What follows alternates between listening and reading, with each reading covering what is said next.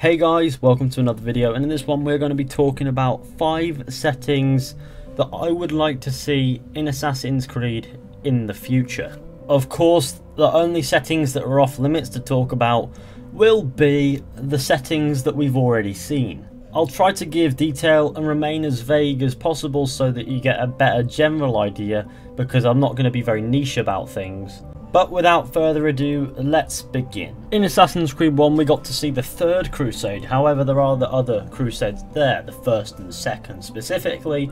There are others under different names, such as the Crusader, the Faint-Hearted, or the Peasants Crusade, or whatever, although they usually are part and parcel with these two events. And these two events are very interesting little pieces of history. They're very similar to the Third Crusade, I guess. I just I guess they just have different outcomes, but at the same time they have different stories, different characters, and it's just two settings that could work. I decided to infuse them into one point because they're basically the same setting, just different time, and they are similar settings to Assassin's Creed 1. However, the first and second Crusade are different in a way, because they have a different story to them, and there are also different cities that they could go to besides from the ones we see in Assassin's Creed 1. So, all in all, it could work. We could see these two settings at some point.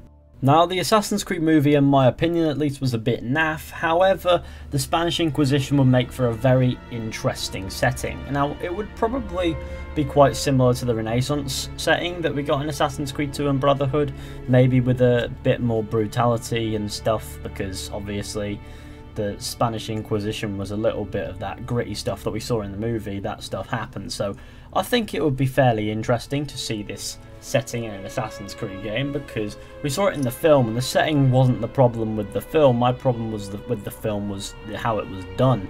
And I would like to see this setting done in its full glory because I don't imagine a game would be the perfect way to do that. Of course, being set at roughly the same time as the Italian Renaissance, there would obviously be some similarities in culture, although it would be very different because Spain and Italy weren't exactly the same ever.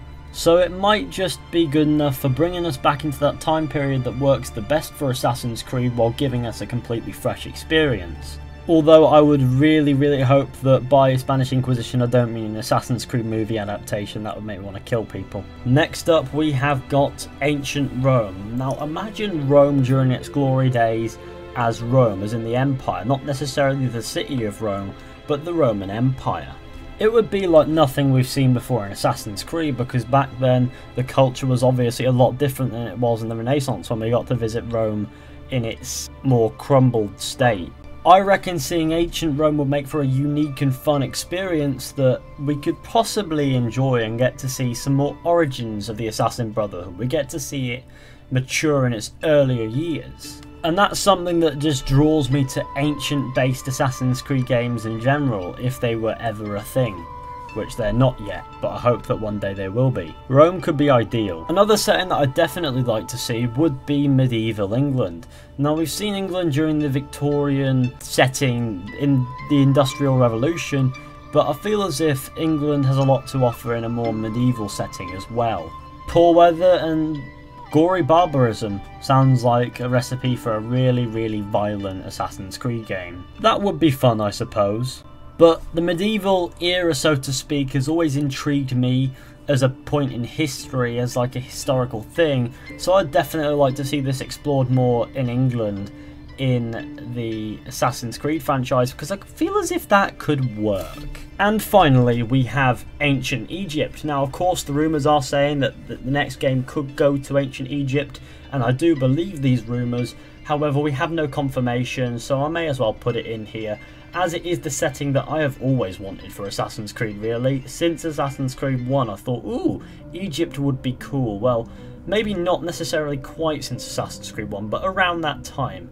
Around the ending of Revelations was when I started to really think that Egypt would be a cool setting, as it would be really unique as a setting to Assassin's Creed because we haven't really seen any settings quite like it in the past, the closest being Assassin's Creed 1, but since we're now on a new generation with better graphics, I'd imagine it'll be quite a beautiful setting, at least.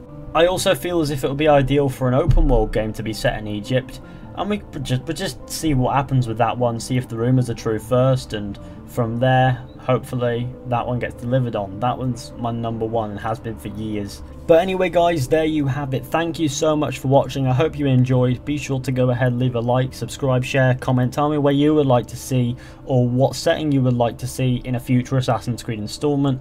And I'll see you all in the next one. Sorry that I couldn't get any really properly appropriate gameplay for these settings as they've not been done yet, if at all. So it's kind of impossible, but I tried my best. And I'll see you all soon. So yeah,